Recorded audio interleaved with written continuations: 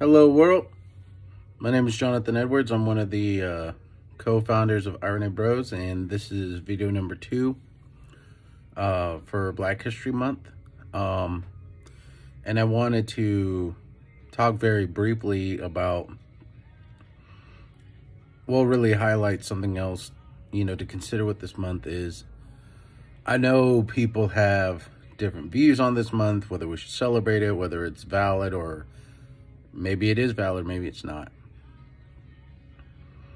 I want to say that this month is an ideal time to highlight how we as people maybe we look different, people persons of color, persons of not color, but that's not really a thing.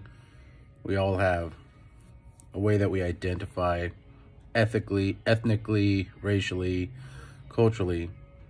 I think this is an ideal month or time of year for us to realize how much, one, we rely on each other, and how much, if we really take the time to understand each other, we can create amazing works and accomplish amazing and difficult prod, uh, projects together.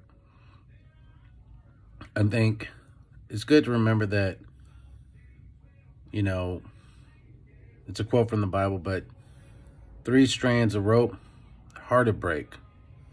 That's what happens when we put in a collaborative effort to move forward, regardless of each other's color skin, background, and culture.